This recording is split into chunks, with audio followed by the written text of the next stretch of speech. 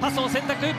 ここもベンドラメが狙っていくがもう一度ボールを持ち直したのは3円復帰戦のコティ・クラーク。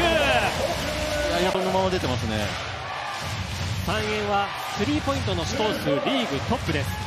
いやそして今日ライアン・ケリー。ここは守った。3円非常に立ち上がりから高い集中力のディフェンス。そしてうまくかわしてコティ・クラーク、クレモンズがつく。力でいく。決めきる。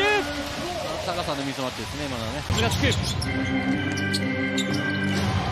あうまくました。これは大きい。コティ・クラークのスリー。これ左手で出してましたねバックビハインドでね。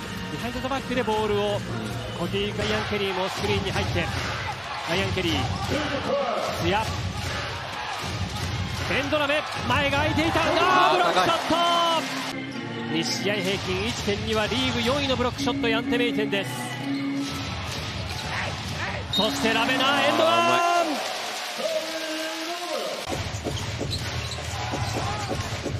後ずかりをしながらかわしていった大浦。うまいいやーベンドラメをかわしてそして2人に今囲まれながらも主導権は3円です。そしてメイテン。メイテン。決めきる。今のショットも。できないこのリバウンドは3円。いや非常にいいプレーでしたけどもね今のね。ローポストで待っていたメイテン。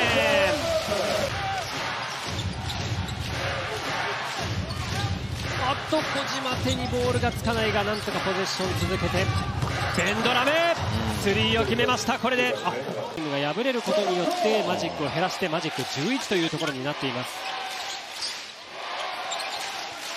大きなブースターの歓声ラベナメイテン。エンドワン。イーブス選手はこれ4つ。タイムアウトまでちょっとここ頑張りたいところですね。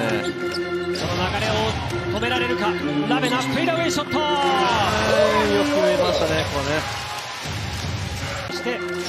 クレモンズアキチェンバースが入っています。アリウープいやーこれですね。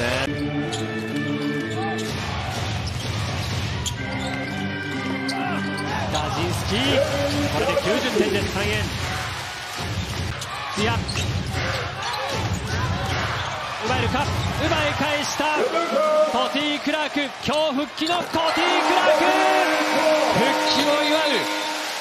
このダンクをお見舞いして試合終了。